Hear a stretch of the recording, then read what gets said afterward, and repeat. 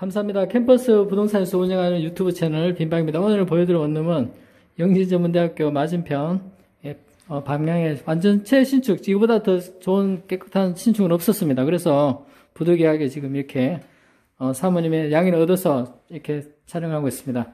보시면 벽걸이 TV가 있고 그 다음에 모든 가구라든가 에어컨, 세탁기, 냉장고가 이렇게 새로운 그런 냄새까지 날 정도로 좋은 원룸입니다. 어, 그래서 깨끗하고 깔끔한 곳 신축을 찾는 분에게 적극 추천해드리고 싶은 원룸입니다. 이름은 띠아모. 띠아모가 어, 사문화어로 사랑한다? 맞는가 모르겠네. 네. 그런 그 이름도 재- 재밌고 또 건물도 좋고 예, 좋은 사람들과 함께 지내기에 적당한 원룸입니다. 캠퍼스 부동산 유튜브 채널 빈방입니다. 네. 감사합니다.